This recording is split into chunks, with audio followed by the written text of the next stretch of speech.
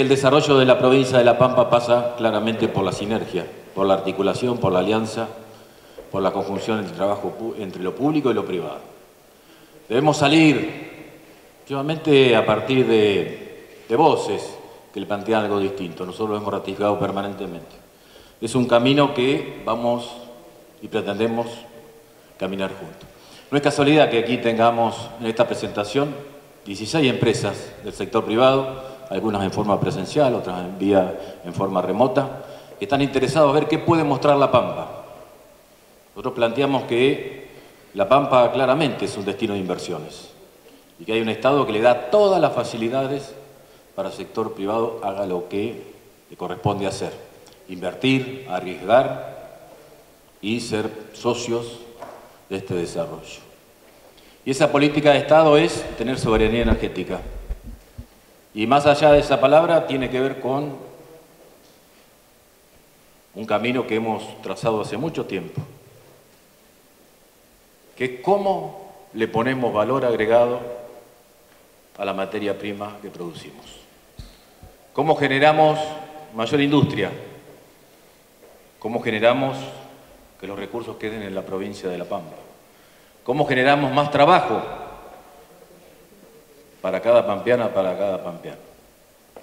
Y en ese esquema estamos planteando la necesidad de trabajar en conjunto para poner valor agregado. Y cuando hablamos de industria, no podemos soslayar que el principal insumo es la energía.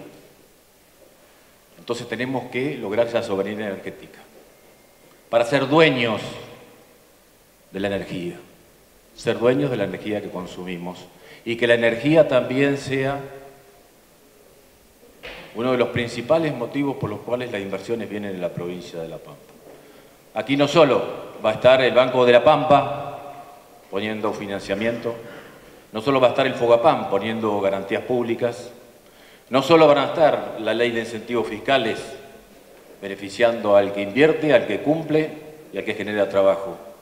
También el precio de la energía será una variable que hará más apetecible la inversión en la provincia de La Pampa me parece más que atinada la decisión política del señor gobernador de que General Pico cuente no solo con la ampliación del parque industrial, sino que ese parque industrial cuente con un polo energético y ese polo energético cuente con un parque fotovoltaico que pueda justamente abastecer ese parque industrial y ese parque industrial tenga la posibilidad de que ese parque fotovoltaico sea público-privado.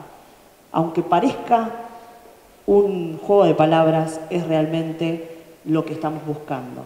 Es una alianza en el buen sentido de la palabra, donde todos pongamos algo pensando en el desarrollo de nuestra localidad y también del norte de la provincia.